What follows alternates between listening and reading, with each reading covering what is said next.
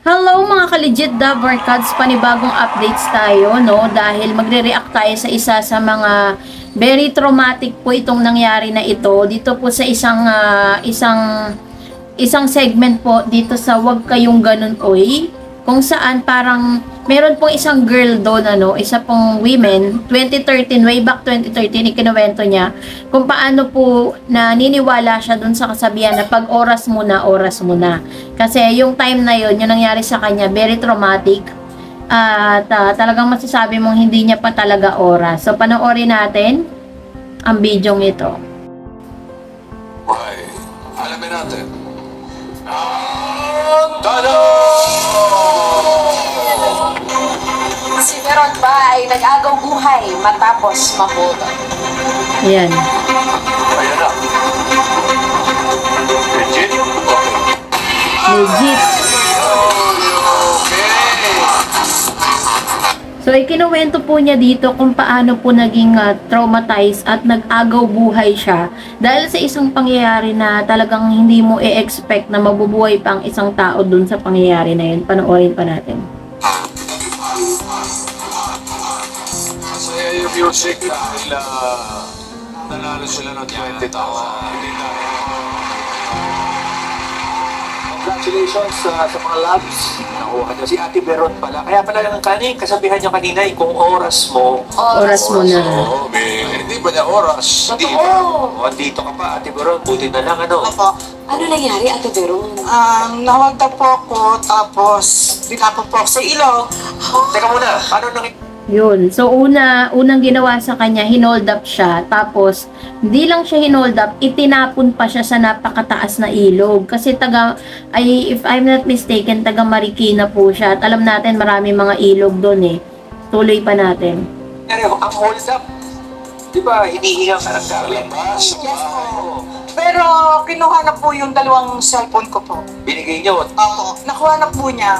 Tapos ano? Tapos po, nung makuha na ano yan? Nakasakay kayo sa taxi? hindi po, naglalakad po pa uwi.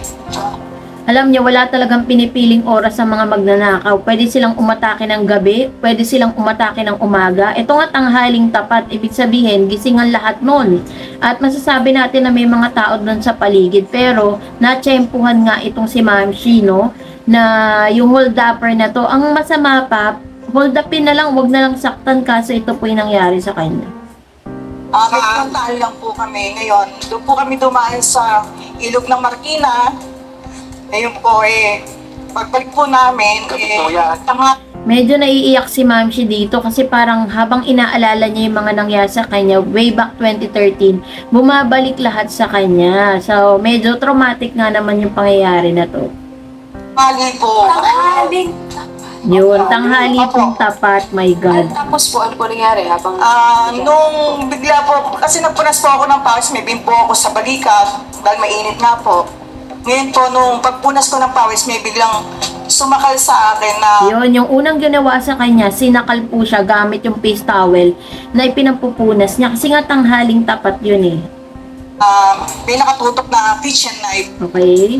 Ah, ngayon po, syempre, inisip ko, Lord, bigyan niyo po ako ng lakas loob at ah, may survive ko yung kung ano yung ano mangyari sa akin sa araw na yon. Tapos, ah, bali, yun nga po, kinuha nga po yung dalawa kong cellphone na nasa bulsa. Ay, Ate Beron, sa dili lamang po.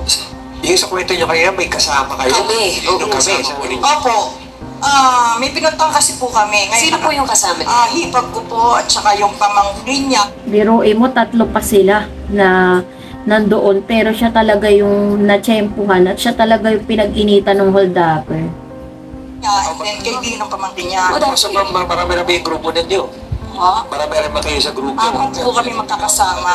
Bali po nung makita po nila kung sinakal nga po ng may kutsilyo, nanakbo na po sila. Eh, hindi po ako makatakbo dahil may nakatutok na po sa leg ko. Yan ho ay nangyari sa mataong lugar.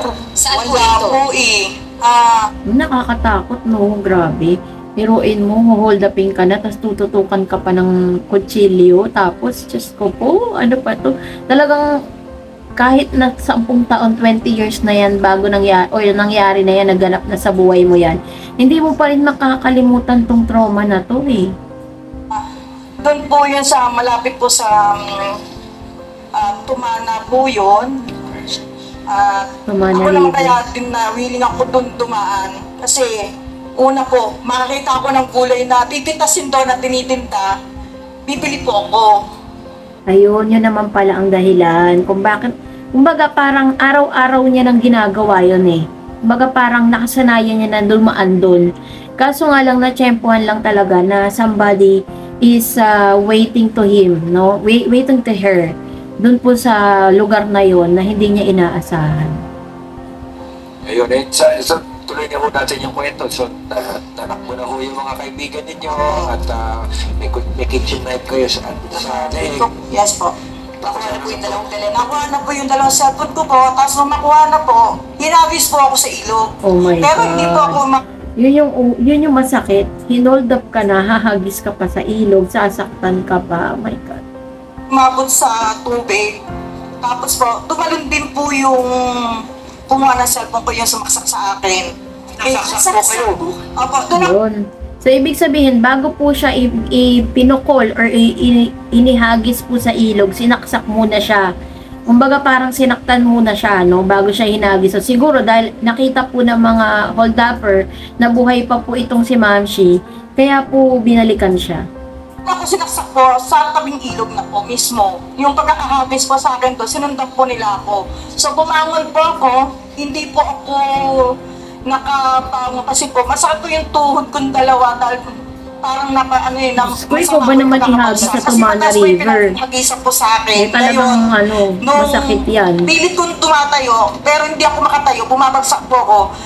Hini, binitbit nila akong dalawa nung lalaking hold-upper na hindi ko namukaan. Ngayon po, doon po ako ininda ka ng saksak sa tagiliran, lumabas po yung video ako rito. Oh! Diyos ko po. Habang kinukwento niya, tromang-troma siya. Oh. Biruin mo, hinagis ka na. Eh, tapos, bago ka ihagis, sinaksak ka.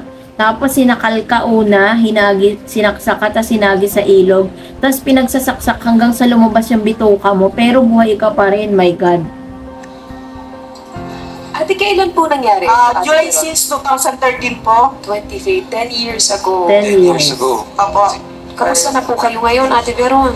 Eh, medyo bumabalik ulit yung sariwa kasi na kasama ko sa segment po ng ano po, Magkayang ng DJ po. Oo.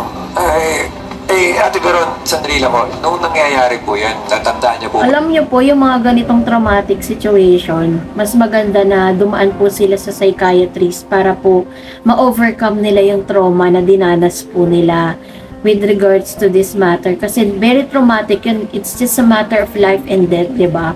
Maga parang ramdam mo, ikaw na nakikinig, ramdam mo yung sakit na dinanas na itong si Ate Beron.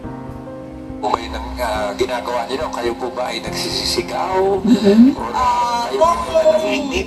Kasi bakit, bakit umamot sa pagtulak at parang gusto pa kayo talagang tuluyan? Ah, ako po'y nanahimik dahil alam ko pong may nakatutok na kutsilyo sa akin para hindi nga po ako saktan ng tuluyan. Eh, ang kaso nga po, siguro nga po, yung dalawang nangota po sa akin ay bangag po. At walang nakuha pera sa akin. Tama. Alam niyo po, hindi gagawin niya ng normal na tao. Maaaring nakadroga yung dalawang yun. Kaya, o yung pong mga hold-upper na yun. Kaya parang karumal-dumal yung ginawa dito kay Ate Veron. Kundi yung dalawang unit lang na po na cellphone. At yun nga po, nindakan po ako ng saksak. Ang akala ko nga lang pakiramdam ko isa lang kasi yung pala sa sobrang manhid na maraming dugong lumabas sa akin, tagtad na pala ako ng saksak, labing lima saksak. Diyos ko po. 15, ano, stab wounds. Tapos mabubuhay buhay pa din siya. Kaya totoo yung sinasabi niya na kapag oras mo, oras mo na. 15 wounds. 15 stab wounds. Mabubuhay ka pa ba nun? Sabi niya nga, lumabas, halos lumabas na yung bituka niya, no? Tuloy natin. Sa Labing limang saksak! Okay, um, sige pa. Para, para marunong baling nga yung trauma niyo, Ate Veron. Eh, Nagka-trauma ah, siya. Ilang buwan ho bago kayo nakarecover? Ah, isang linggo lang po ako sa ospital. Isang linggo Tapos lang. pilit ko po talagang makarecover po para sa mga anak ko. Nung nangyari po ba yun, Ate Veron, nawalan po kayo ng malay, tapos nagising po kayo Ay, sa hindi ospital? po. Nagpatay-patayan po ako para lang makaligtas po ako na yun nga po, nung naramdaman ko na po na iniwan na po nila ako nung Ayun. Akala siguro ng mga hold-upper, patay na siya. Kasi sabi nga natin, pero nagpatay-patayan siya para po, kunyari, patay na siya. Pero parang sa kwento ni Ate Veron, parang bukas pa din yung diwa niya eh. Sigat sa mga ganong sitwasyon, parang manghihina ka na, mauubusan ka ng dugo, di ba? Dahil dun sa dami ng mga wounds na, sinak na naranasan mo. Nung dalawang lalaki na hold up sa akin, na sumaksak, yun po, nung naramdaman ko na wala na talaga sila, dahil may nakaka- nakakadinig pa naman ako nung time na yun, at nasa wisyo pa ako, ngayon po, ah, bumangon po ako, gumapang po ako dahil hindi po ako makabangon. Ngayon, sumisigaw po ako ng tulong po, tulong. Akala ko nga po walang nakarinig sa akin, dahil pakiramdam ko ako lang nakakarinig ng sigaw ko. Yun, praise God. Sino ka nakarinig naman? Yes po, oh. Praise God. At least, 'di ba, dun sa pagkakataon na 'yon, eh may tumulong sa kanila. Kaso yung sabi po ni Ate Veron, parang nag-aatubilis sila na tulungan si Veron dahil baka mamaya nandun nga yung mga hold-upper sila naman ng uh, pagdiskitahan. So, ang maganda lang, nung tinulungan siya, dinala siya sa hospital, eh nakasave naman, na-save naman siya.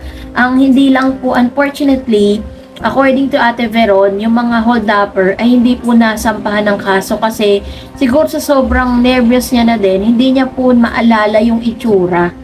No? So, ganun po, minsan ganun eh, no? Pag nandun ka sa sitwasyon, kahit po nakaharap mo face to face, yung tao na gumawa sa'yo ng hindi maganda, nakakalimutan mo yung mukha niya dahil natatakpan na siya ng takot at trauma. So, isa lang po yung ano dito, isa lang po yung ah, parang moral lesson dito that ah, kailangan lagi po tayo mag-iingat, lagi tayo magdarasal, 'di ba, bago tayo pumunta or saan man tayo magpunta, lagi tayo magpagabay sa Diyos kasi 'di ba hindi natin alam ang likaw ng bituka ng mga taong nandito sa paligid natin, eh, 'di ba? So, yun po yung isa sa mga talaga namang uh, talaga mabait ang Diyos eh, no? Hindi siya hinayaan na mamatay at hindi talaga pa niya oras, may mission pa siya sa buhay niya. So, Ayan, pagpag tayo. So, that's it for today. For more videos and updates, please don't forget to like, share, and subscribe. And please follow me on my Facebook page, DarEdsTV, and to my TikTok account, DarEdsTV. God bless mga legit Dabarkad. See you on my next vlog.